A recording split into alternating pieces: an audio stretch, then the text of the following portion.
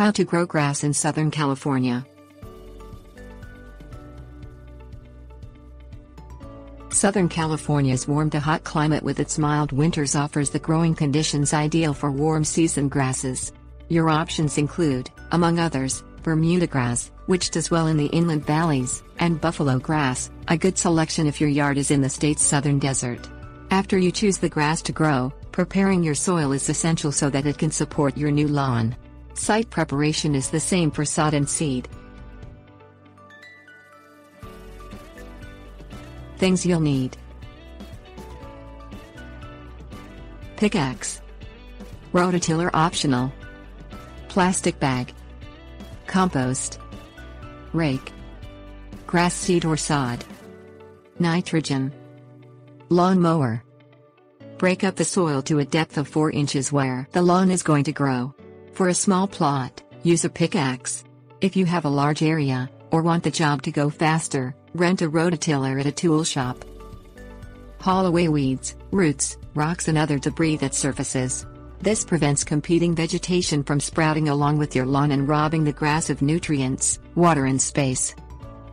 Contact your local office of the California Cooperative Extension Service to find out how to go about getting your soil tested.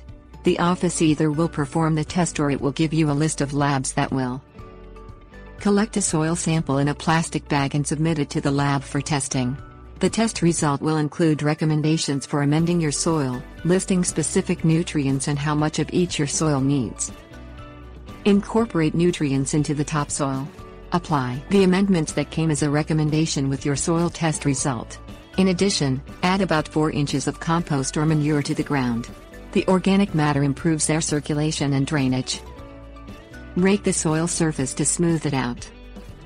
Plant grass by broadcasting seeds with a spreader or by laying out the sod. Irrigate the seedbed as many as three times a day to keep it moist until the seeds germinate or the sod starts growing. In about 10 days, reduce the water gradually until you only irrigate the grass a couple times a week. Feed your Southern California lawn in spring, summer and early fall. Apply a maximum of 1 pound of nitrogen per 1,000 square feet each time you fertilize the grass. Feed it twice in spring or summer to bring the total nitrogen applied annually to 4 pounds. Mow your lawn as part of its regular maintenance. Cut one third or less of the total length of the grass blades. Leave the clippings behind, but spread them over the lawn with a rake so their clumps don't block sunlight and water. As the clippings decompose, they provide the soil nitrogen. Cultivate your lawn to reduce disease. Pull weeds aerate to maintain good water and air circulation and remove thick layers of thatch that harbor pests. Tips Warnings Warm season grasses are 20% more drought tolerant than cool season grasses, according to the University of California. The school also recommends watering in the morning when less moisture is lost to evaporation. By evening, the grass is also dry, reducing the risk of disease. See resources for a link to an irrigation schedule for warm season lawns in California. Lawns in California are susceptible to several fungal infections, such as fusarium blight and pythium blight.